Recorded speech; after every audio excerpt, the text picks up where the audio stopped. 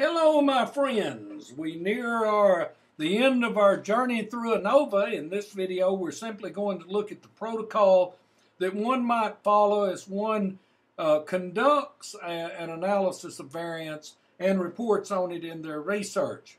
Uh, remember that the ANOVA is about two or more groups looking at one variable.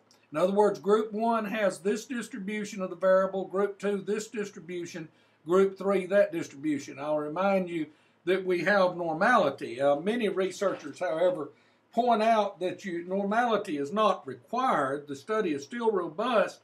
They will say that uh, you need to have approximate normality. I think that's the way of saying it. Bear with me, and we're going to go through the protocol and then look at the SPSS output readout to discuss each of the issues that we would find there. The protocol for conducting an ANOVA is as follows, and the researcher should examine each of these. Now, friends, this, this is my suggestion.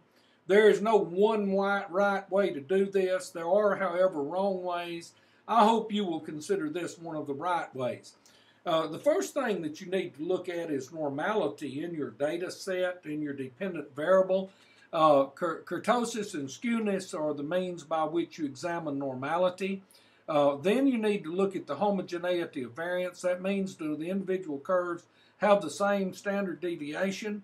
That would be done with the Levene's test. You would identify your descriptives. You would conduct your ANOVA.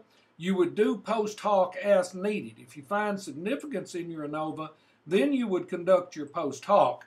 And if you found significance, I think that it would be important that you uh, uh, evaluate the effect size and then that you also examine the power of the study. Well, hello, friends. Now we're going to move on and actually look at the SPSS readout where we collect the things that are necessary for us to meet the ANOVA protocol. Now, you recall that the first thing we wanted to do was, was normality where we looked at kurtosis and skewness. Uh, if you'll recall, to do kurtosis and skewness, you go to frequencies. Uh, you should have something comes up look like this. The skewness is a negative 0.842, a little bit to the right. Kurtosis 1.924. This isn't far off of a normal distribution. Let me, it's not normal, but but you know, it just simply it needs to be a, approximately normal, and the study is still robust. Uh, then we wanted to conduct the one-way ANOVA. We collected our descriptives. Uh, we look at homogeneity of variance. Uh, the Levene statistics indicates to us that we do not have homogeneity of variance. It's not there. Uh, that's an assumption that's not met, and we would need to tell that to the informed reader. Uh, when we conducted the ANOVA between groups, we note that there is a significant difference. I want to point out to you that the significance is not 0.000.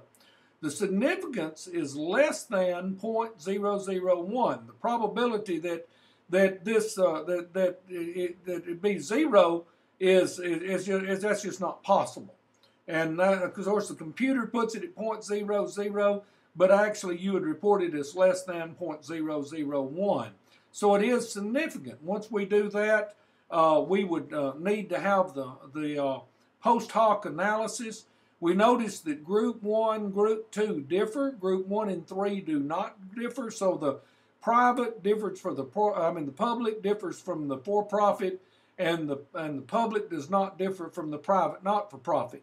The the uh, for-profit differs from uh, uh, the uh, public, and then we notice that the private not-for-profit doesn't differ from either one of them. So you've got some things that are there.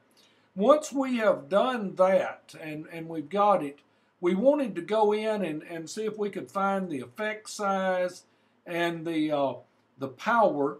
If you'll recall, then we went out to the uh, comparison, and, you know, looked at this, got us univariate analysis of variance. And let's see if we can get down there and find the uh, partial eta squared. Here we are. The partial eta squared was 0.67, which was, means we have a very strong effect size. Our power is 0.995. That is an awesome, awesome power. So in the readout that you have here, I went through and I did several tests. I did the test for normality, using the frequencies, the homogeneity of variance, the descriptives, the ANOVA, the post hoc was all done in the ANOVA.